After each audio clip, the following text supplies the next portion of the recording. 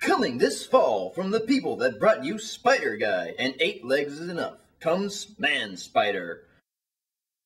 I'm just hanging around, looking at scenery. Hanging from the branch and hanging from this tree. Just hanging around, looking at down.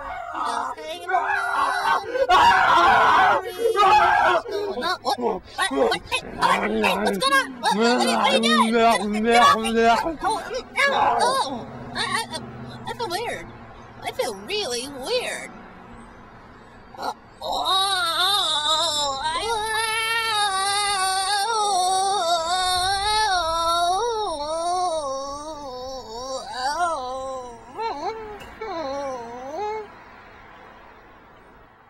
The story of a spider that was bitten by a radioactive man and given the abilities to function like a normal human being. Hey, Bill, why don't you join us for lunch? Oh, hey. No, thanks. I brought my own. Oh, really? Oh, hey, Pete. Have you met my uh, brother Frank? I haven't yet. Hey, hey, Frank, how's it going? Yeah, Frank, Pete, Pete, Frank. Well, we're gonna go anyway. All right, I got work to do. Oh, hey, did you want to go? Hey, Pete, I think Frank wants to go. Hurry up, bus is leaving. You better get going. See him weave the new life he's given under a secret identity.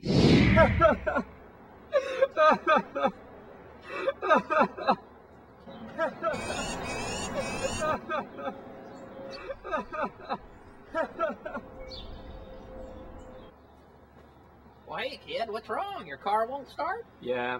How could you tell? Well, I use my man senses. Oh, could you help me get it started? hey, I ain't no superhero. Good luck. Hey, but I thought you were Spider-Man! Ah, that's man spider. Man spider, man spider, does whatever a man can. Don't miss this groundbreaking sitcom starting next Friday at 8, 7 Central. Here comes the man spider.